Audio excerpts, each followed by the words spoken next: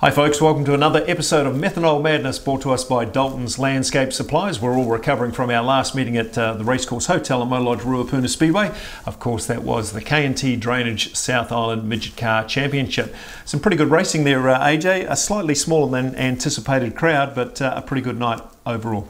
Yeah, overall, uh, certainly got the pass mark, didn't it? The racetrack was stunning, uh, very fast, and nearly a new TQ one lap record. And we did get a new 25 lap midget car record. Pretty darn good. Yeah, absolutely. The track uh, really uh, being uh, conditioned nicely after that uh, small uh, issue we had with the midget car title, and certainly the racing is very fast. Louise, you were there, and there's some pretty good racing in the midgets, but also the TQ20 yeah, some really good racing throughout all of the fields throughout the night, but cool to see another first time winner in the TQ class. Well, to get the show started, of course, it's Crash of the Week brought to us by Elite Re Roofing, Mike Bell and his uh, commercial roofers. And uh, we're going to take a look at the TQ feature race here. This is about uh, three quarters of the way into the race. There's been multiple restarts here. And if we have a look at Cameron Sol on the inside there, you can just see him ride a wheel there. And uh, over it goes, AJ. Yeah, it looked like Cameron may have just uh, slipped a little up off his racing line there, drifted out, caught Scott Bailey's car, and over she went. And that was actually a bit of a bell ringer. That one, uh, he was a bit wonky on his legs for a wee while afterwards, but uh, yeah, good to see him walk away from it. It was nasty. Yeah, Cameron Soul's been improving all year, and uh, certainly he was anxious to get that uh, restart. We can see that uh, the radiator's blown up. There's plenty of panel damage, and as you said before, he just rides up there, but a few sparks uh, from uh, the XS Man TQ and uh, a fairly violent uh, crash uh, to watch that one. Uh, doesn't look as bad on the video, and of course, we see uh, Cameron just going to the safety of the infield there. A busy week for those boys getting that car ready, and we hope that they can be at our next meeting. Well, time to move on to the Herrick Creek review of the night, and the first class we'll look at, Louise, is the quarter midgets. Yeah, it was round three of the Mike Greer Homes Nelson Quarter Midget Series, which was cool for a lot of drivers with a big field to be contesting for this series at their home track. It was Jack Brownlee's picking up another feature win at the track, but his first of the series, which was crucial to his points, with um, Darcy Rasmussen in second and then Brooke Clark actually finishing in third. So Jack was able to take over the series points from Colin Thompson, and Brooke also picked up Driver of the Day, which over the last couple of weeks she's really been improving, and to put it on the podium was a great result for her. Yeah, it was popular at the podium that night. I remember everyone uh, giving her a great cheer. She's certainly one of the popular quarter midget drivers. Jack Brownlee's getting his uh, lap times down pretty low these days as well, and uh, possibly a lap record. Well, the next class we'll look at is the V6 wingless sprints, and joining the show is Josh Henderson. He's our commentator at the track. Josh, uh, tell us how the V6 wingless sprints played out. Yeah, we had a uh, normal heat, three heat plus one feature deal this time around for the wingless sprints, and uh, it was really action packed all weekend long. Uh, but we also did have a bit of best pairs mixed in there as well, um, which we'll get to a little bit later on. But uh, Kirk Hawkins, Adam Evans, and Mark Morris uh, were your three race winners. Uh, Mark Morris obviously winning the feature after a little bit of contact between Bailey Clive um, and uh, Adam Evans on the last lap of the last corner. So um, it was really close racing from, from everyone, and, and um, yeah, Matt Morris, that car didn't even start before the, the weekend got going. So he's he's made a real good recovery and moved up into the uh, the feature win. Yes, we were both uh, commenting on his uh, car in the pits. He couldn't get it started uh, before the uh, warm ups, and uh, miraculously, he uh, ended up winning the feature. Yes, a little bit of controversy in the feature race. Bailey Clive sent his car in as hot as anything going into the last corner, taking Adam Evans out. Now, officially, Bailey Clive was able to hold on to that position, but certainly when he went to get his podium, or victory lane, I should say, he was acknowledging that he shouldn't have won that race, and Adam Evans perhaps had the moral victory in the weekend. But nevertheless, uh, AJ, it was pretty good racing. The V6 wingless sprints are uh, going particularly well, and they've got their big rumble coming up as well. They have, and I, I just like the way that class is building momentum. You know, we're getting some younger guys in there, um, you know, the likes of Shooter Hawkins and Andrew Gregg, you know, they, they're clinging on try to hold out these young guys. And every time Adam Evans is there, you know, he, he does bring something to it just so wrapped for Mark Morris. You know, he's been around for a hundred years out there at the Speedway, and you know he puts everything into it, and yeah, he'll be quite happy to have got that feature win. Didn't matter how he got it, he got it. Yeah, absolutely. A good racing family, uh, the Morrises, and uh, certainly his boy Brody going well. Uh, Jess, of course, uh, another racer, and uh, Mark uh, taking out the feature race. Next class we'll look at is the sprint cars, and just a very small field of sprint cars. Of course, we had some of our drivers up north for the North Island Championship and uh, a field of just six took to the feature race, uh, AJ. But man, it was exciting, wasn't it? It was a very good feature race. Uh, yeah, forget the fact that there were only six cars. Um, maybe a 15 lapper might have done a field like that some more justice. But Dave Kerr, you know, he was on a mission and yep. he had that big old Ford just cranked up. Um, I don't know whether Dave sort of maybe lacking a little bit of race fitness or general fitness, but uh, he was starting to get wider and wider as as the race went on. And then, of course, just going down that back chute the last time just uh, sort of went up the wall just slightly. And Joel Myers Jr., he did not need another invitation to steal that one, did he? So another last gasp win for Joel Myers Jr. Yeah, Joel Myers Jr. making a habit out of uh, winning feature races on the last race, uh, dive bombing uh, in a previous uh, couple of features, uh, taking out uh, the opportunity when Dave presented it to him in this feature, AJ. he's had a great career here at uh, Ruapuna, hasn't he, Joel Myers Jr.? He has, and he, he adds a lot to it both on and off the track. You know, he's more than happy to help the, the other drivers with ideas. And, you know, here's this kid, he's like, you know, 18 years of age, but, you know, he's just bought right into it and, and helping everyone out.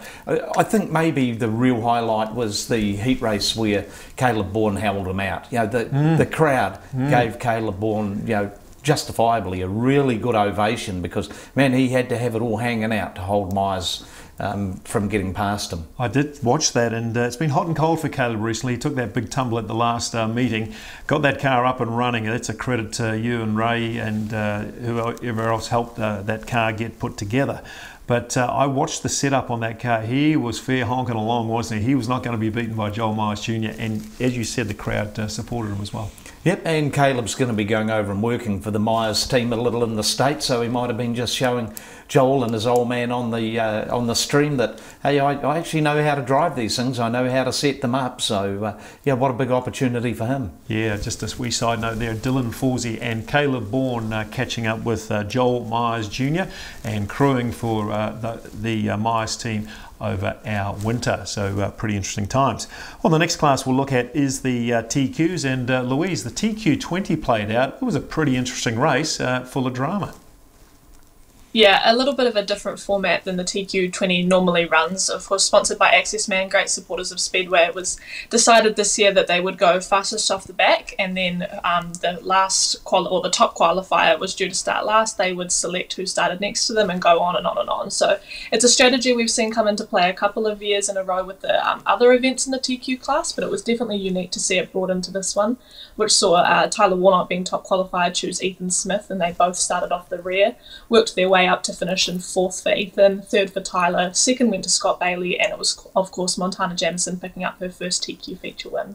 Yeah, it was a great win by Montana, and uh, we may catch up with her very shortly. But uh, you're a fan of this format, aren't you, uh, AJ? It really brings, um, let's say, the mid packers uh, up to the front, and they've got a really good chance to uh, defend and win a feature race. Oh, absolutely. You know, and uh, think of the confidence that it gives some of those drivers. Rebecca Bugler mm. led a good number of laps, and, and then Montana pounced, and you know she took her opportunity.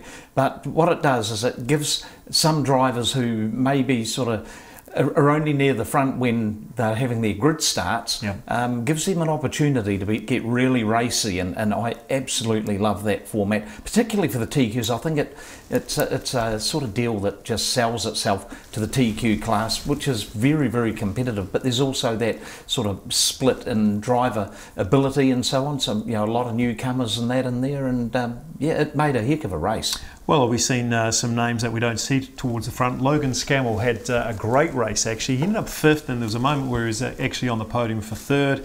And uh, there's plenty of uh, supporters in his crew uh, supporting every lap that he was doing. I see Cameron Soul, not so good for him with that big crash in the feature, but he was putting in some tidy laps. Isabel Clark was up there as well, and she did particularly well. But of course, it was really um, Montana Jamieson, who was so used to winning in quarter midgets many years ago. She was so dominant in that class, and great to see her take out that feature race. Yeah, and it was very popular too because, like Montana and her family, they've been there at the Speedway for an awful long time. You know, it's what they know, it's what they do on Saturday nights and that, and and um, you know there was plenty of backslapping going on after it because uh, it was a very well deserved race, and you know Tyler Warnock he tried everything, Yeah. but um, he just couldn't do it. Um, he had to make his way through the traffic, and Scott Bailey and those guys, you know. Montana was gone like a robber's dog. Every time the yellow came on, part of you was saying uh, they're going to get it this time, and they threw the green. And next thing, she just sort of started extending the advantage that she had time and time again. So yeah, very popular. Yeah, it was a great race by uh, Montana for sure. And uh, Montana actually joins the show. Uh, welcome into Methanol Madness, uh, Montana. It was a fantastic win by you the other day, but uh, like uh, not like all features, you had to do it pretty tough. There must have been multiple restarts there. And uh, what was it like being inside the cab there and uh, being taken on so many times with restarts? Um, it was pretty stressful. Um, I've never had that many restarts in a race, let alone leading it, and especially with the fast Scott Bailey next to me. I knew that I had my work cut out for me as soon as that that was happening. But I knew I had a fast car, and I knew that I had the car to do it. I just needed to hit my marks, and I think it really paid off. Well, I think it's a lot of that uh, early uh, quarter midget experience really coming through. Uh, clearly, you've been racing for a long, long time now, and uh, you're well supported by your dad, Mark, who's uh, instrumental in getting that car sorted out for you. But uh, we were all there. Did you hear the crowd cheering for you? You, you might have recognised that after the race itself, but all of the Speedway family really wanted you to win that race, and you certainly held them out pretty nicely and beat uh, Scott Bailey home, which was uh, a pretty good scalp to beat. Yeah, I could see everyone down the back straight, and I could especially see my family um, and my pit crew at the fence sort of warming up and getting ready. And I could tell that I obviously had the car speed to do it by Yeah. their reaction about five to go. Um, I was erupting. It was actually quite cool to see. Um, you know, I'm I'm sort of like the dark horse of that race, being picked third last to into the grid. I think it was really my moment to show that I can compete, and I had the car to do it and I had the speed. And I think going forward, I can be a real contender for the meetings coming up, which is really, really positive. Brilliant. Well, it seems like it's uh, really given you a boost to your, your confidence. You've always been a fast driver. I mean, uh, we were referring back to your quarter midget days. You were virtually unbeatable uh, back in the day. And how many years have you been uh, racing now? Um, well, I've been racing since I was seven, so and I'm 21 now. So just a few years. I've only had one season of that off. So yeah, quite some time now. I feel like it's been like forever. I couldn't go without it. Well, you've been well supported by your dad. Your brother helps out from time to time as well, and you got some good sponsors on there. Uh, what was it like back in the pits afterwards? Uh, I'm sure you've had a pretty interesting week as well. Oh, it was awesome. Plenty of hugs from family, and you know, congratulating my dad. He's a big part of what I do and where I am, and you know, my family. The appreciation from you know, I had all of the drivers come over and congratulate me, and it's a huge respect to the other drivers out there that they're always so appreciative of, of you getting a good result and you support them. So I think the grade is in a really good place. Yeah.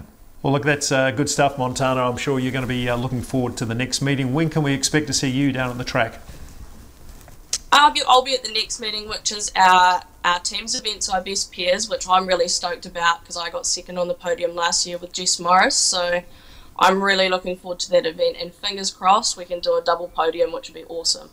Uh, good stuff. Hey, look, uh, thanks for joining the show, Montana. A very popular one at Ruapuna on the weekend, uh, mostly from uh, all the other TQ drivers and people that have seen you and your family racing around the track for many, many years. Great result, AJ.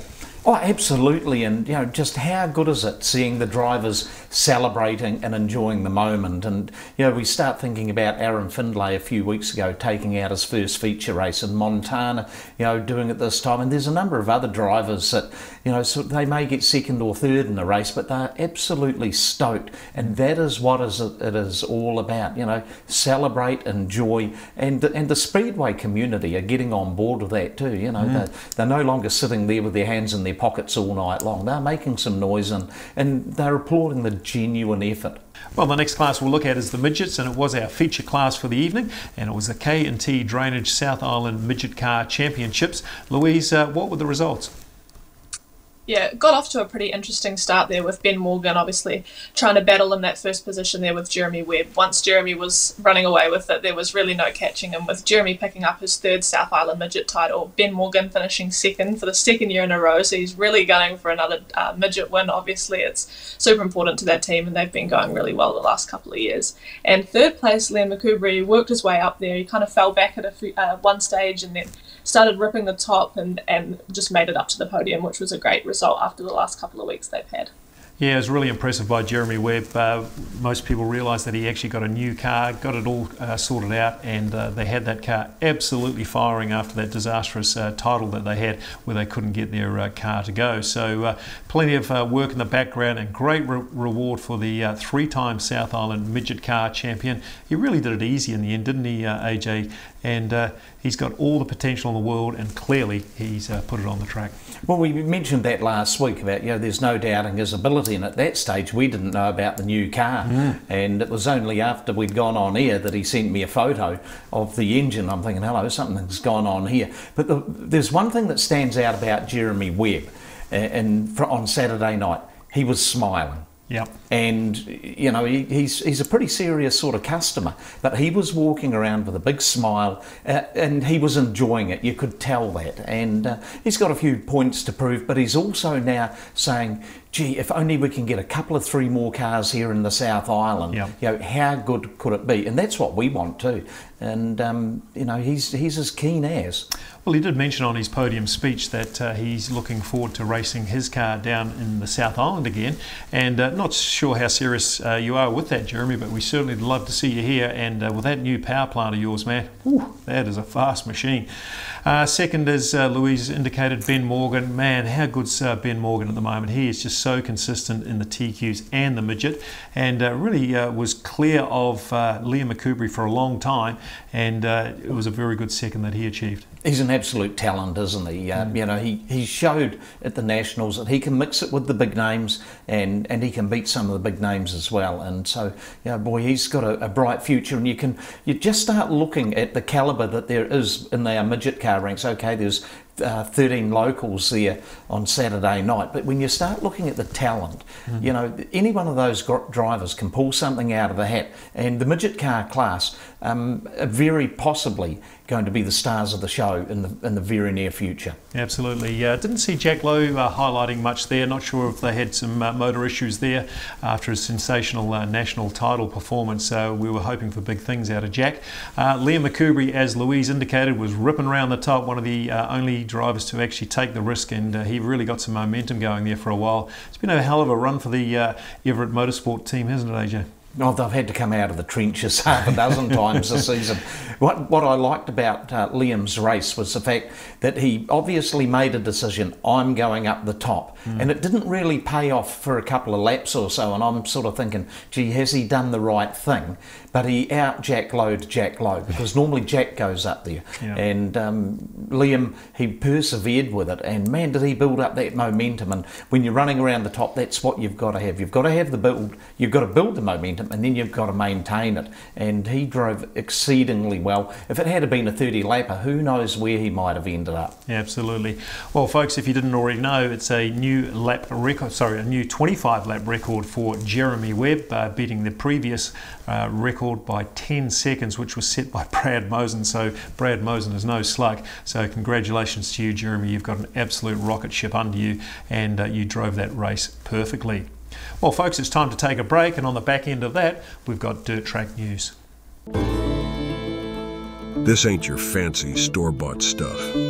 This is Herrick Creek Moonshine, handcrafted right here in New Zealand. Made with real corn by real people and a whole lot of heart. It's smooth, it's strong, it's real. Experience New Zealand in a jar with Herrick Creek Moonshine. Welcome to Wellington's largest caravan and RV shop. CB Caravans and RV Centre look after repairs, maintenance, and they are leak specialists. CB Caravans and RV Centre import UK caravans. Need to sell? They can help. CB Caravans and RV Centre, your caravan solution. Catch up with Will and Wendy today. Time to move on to dirt track news brought to us by CB Caravans and RV Centre. And the first item we'll look at, uh, Louise, is the New Zealand TQ Grand Prix. We've got a couple of our drivers competing there. Yeah, so headed up to Meeanee for this Saturday's racing will, of course, be the 1NZ of Jeremy Webb and the 33C of Tyler Warnock, both incredibly fast cars from the south. So we've just seen Tyler make his way through the field in our feature. It'll be interesting to see how that kind of goes out for them. Uh, the last time they were in Meeanee for the New Zealand title, the track was pretty rough and it didn't really go to Mm. plan for either of them. Of course, with Jeremy Webb not picking up his South uh, New Zealand title, sorry, um, that weekend, but both of them headed up, so I think it'll be interesting. There's pretty big field, so it'll be interesting to see kind of who comes out on top there. But there's also TQ's racing at Western Springs on Friday night, so it's a big weekend for them. Yeah, it's a long haul up for those uh, drivers, and uh, hopefully they can get some good results. Uh, Tyler Warnock's uh, probably full of uh, confidence. Uh, AJ, he had a pretty good uh, attempt at the lap record in the weekend. He will. He, he missed it by half a coat of paint, didn't he? And like that was the fastest time since that record was set by Caleb Curry a couple of three seasons ago. So uh, man, he was going. Yeah, he's got his confidence back, uh, has Tyler, and uh, certainly uh, deserves a wee bit of luck. It's been pretty horrendous for those guys in the last season or two. Josh, uh, we've got some info on the uh, V6 Wingless Sprint Rumble. Yeah, Rumble's coming up. It's uh, only a couple of months away now, and we've got uh, 30 entries confirmed for the Rumble and five on reserve. So it's a really on in-demand uh, event. So that's our max entries for the Wingless Sprint Rumble, and then we've got five waiting on the waiting list. If anyone does drop out, those names can include Luke McClymont, um, obviously our regulars like Kurt Hawkins, Andrew Gregg, and uh, obviously our one NZ Bailey Clive. But we've also got uh, Gene Spooner. Uh, he'll join in a wingless sprint, and Laurie Peterson as well, coming up from Auckland. I'm pleased Laurie's making that trip uh, down. He's uh, a good driver from the North Island. And Gene Spooner, haven't seen Gene in a V6 wingless sprint for a long time. He was very good when he uh, he was competing, which would be three or four seasons ago. Yeah, I mean, Gene has been living in Australia. He's back home again, and uh, he's going to run the wingless. And who knows what he's going to do next year, or who knows what we listen to that he's going to do next year. The Rumble is pretty much the New Zealand Championship, and, and look, you know, politics play play its plays its part in that. You know, some classes get championships, some don't, and I would say there's more tracks in New Zealand that contract six shooters now than contract mini sprints. Mini sprints get a national championship, and it's a bit of a bugbear in- in that there's a, a few, you know, sort of inequities you could say that, that are going on there. But uh, this is their national championship, and it'll be an absolute barn burner. Yeah, well, we might be speaking out of turn here, Speedway NZ, but it might be time to look at the V6 wingless sprint as a uh, national title. Well, uh, Western Springs kicked off its first meeting for the year, and uh, Louise, uh, the midgets and sprint cars were racing. Thomas Meseraull was in town. Uh, he's uh, returned from America. Looks like he had a pretty good result as well.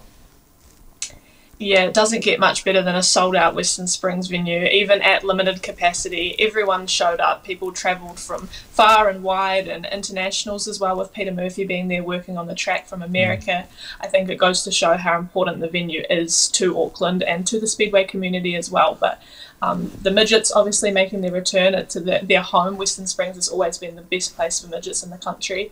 Um, Team is racing for BSL this year, or this time around that he's visiting. Obviously, um, a little bit more uh, experience under his belt now racing against these guys and a little bit more of a reliable car as well. So he was actually running up in the top five in the feature before he unfortunately biked up and his shock came off. So it was pretty unfortunate there, um, but no- nevertheless, better results than he's had the last couple of times that he's uh, raced here in New Zealand. So it was Michael Pickens picking up the midget win with Alec Insley, another podium for the young gun Alec, finishing second there, and then Brad Mosen in third.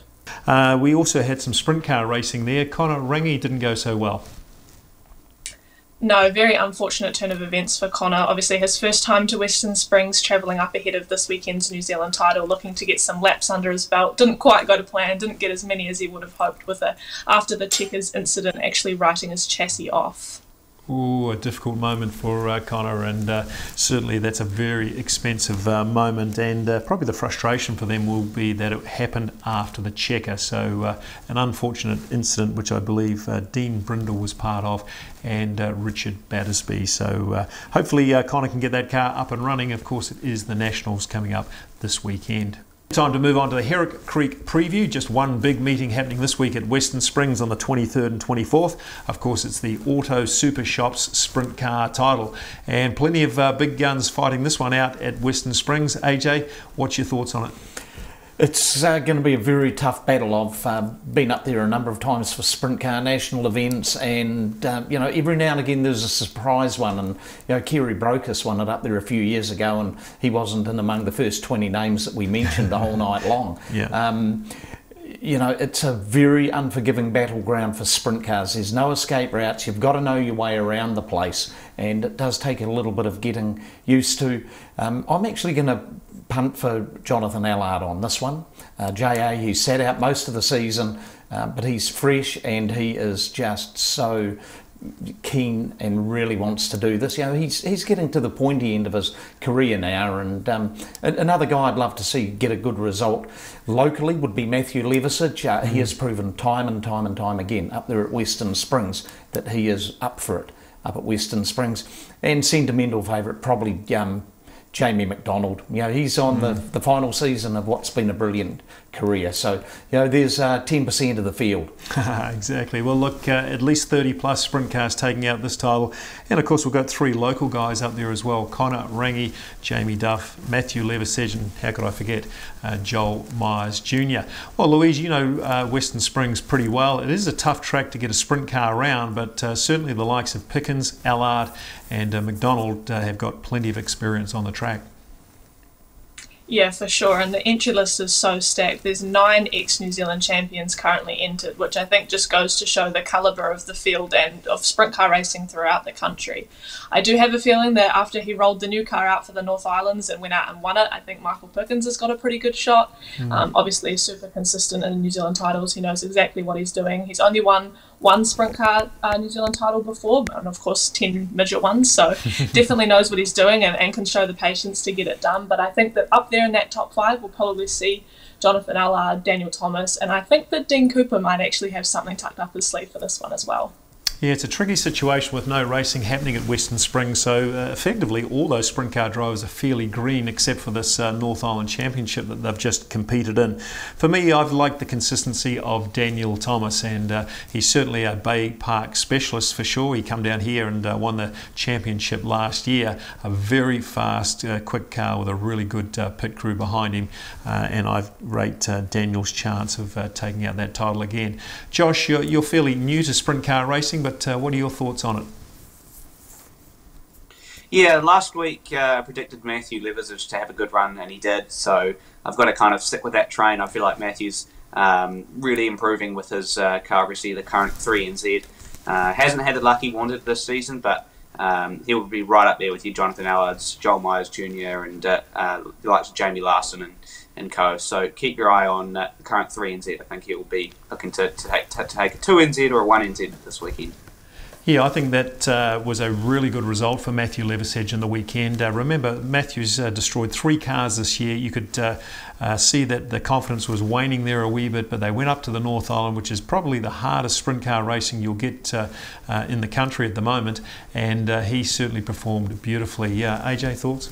Yeah, I, I, also I really do feel for um, Connor Rangi. They got off to a bad start, and you know they were the innocent party in an after the checkered flag incident that uh, pretty much trashed their chassis. Mm. Um, they'll be working very hard uh, playing catch up. Uh, don't write off Jamie Duff. Uh, he did base himself up at Western Springs a number of seasons ago, and they've got a very, very um, good crew chief in Daryl Claydon.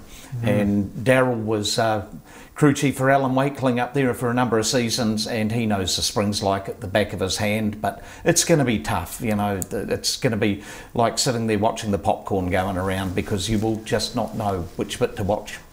Yeah, I suspect this championship will be for those that uh, really uh, progress through the heats well and get themselves a good grid draw. It's difficult to see someone coming from uh, grid 18, 19, 20. That's just not how you win a New Zealand championship these days.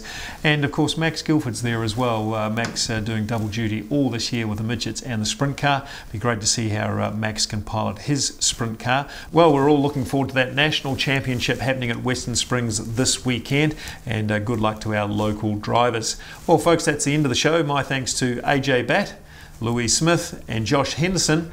And until next time, keep your foot up it.